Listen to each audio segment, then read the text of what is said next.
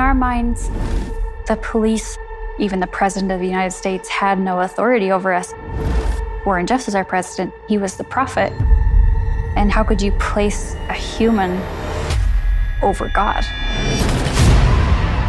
known as FLDS. It's a far offshoot of the Mormon church and supports the practice of polygamy.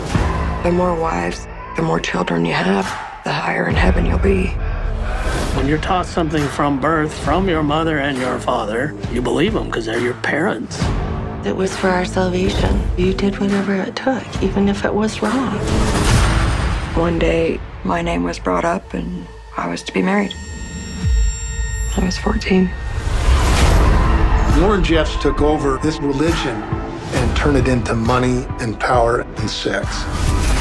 Young girls were like a commodity owned by the church. Warren had himself 78 wives. 24 of those wives were underage. We're going to go after the criminals and we're going to go after the child abusers. To stand up against a multi million dollar church, you're going up against a lifetime of conditioning and fear. He took the families away, took their homes away. Might as well have just lined them up against the wall and shot them. You don't fight the priesthood, you don't fight the prophet. But it was so much bigger than just Warren and me. It happens to everybody eventually. You will come around and see the light. We love you. I love all of you.